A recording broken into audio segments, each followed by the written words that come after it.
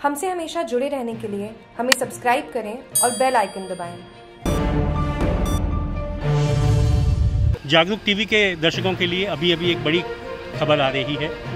केंद्र सरकार ने महाराष्ट्र सरकार की उस अर्जी को मंजूर कर लिया है, जिसमें महाराष्ट्र की उद्धव ठाकरे सरकार ने केंद्र से अर्धसैनिक बलों की टुकड़ियाँ मांगी थी। महाराष्ट्र में कोरोना वायरस हाल के दिनों में तेज़ी से फैल रहा है। महाराष्ट्र पुलिस के जवान भी अब कोरोना से अछूते नहीं हैं। सीआरपीएफ के जवान भी समय समय पर कोरोना की चपेट में आए हैं। मुंबई की आर्थर रोड जेल में भी कैदी और वहाँ के सुरक्षाकर्मी भी कोरोना की चपेट में आए हैं।